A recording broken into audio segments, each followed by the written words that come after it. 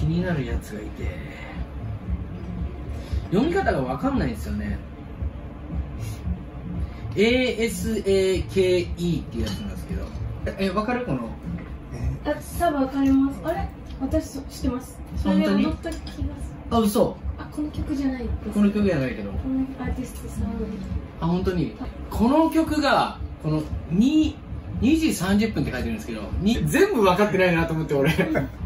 もうこう 2, 2時30分。2時30分って書いてるんですけどこの曲がめちゃくちゃかっこよくてなんかベースが今までのベースじゃないんですよね。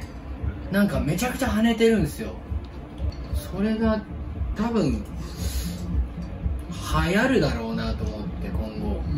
いやこの曲いやまあジャンルアフロビーツってこれ書かれてるんですけどこの曲なんかアフロビーツなんですけどなんかレゲエをめちゃくちゃ感じるんですよ。でもレゲエとアフロビーツって一緒？俺違いますね。違うよね。でもめちゃくちゃレゲエを感じうて、でもあのアフロアフロビーツなんですけどそのやっぱベースが結構やばいなんか跳ねてるんですよねこの曲が。ここら辺が新しいんですよねめちゃくちゃ。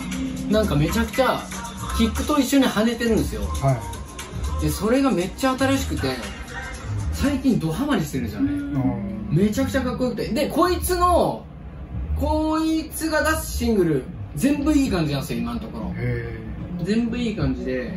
であと最近で言うとダビドっていうやつがいるんですけど。ダビド？これもアフロビーツなんですけどダビドもめちゃくちゃ良かったですアルバム。ダビド。その UK ガラージといえばっていう曲がジョージア・スミスのあの曲なんですよ。でこの曲が、まあ、UK ガラージのあのといえばみたいな感じの定番の曲になってるんですけど知ってる人はもうめちゃくちゃ上がるみたいな感じなんですけどだからやっぱハイハットがハウスなんですよね。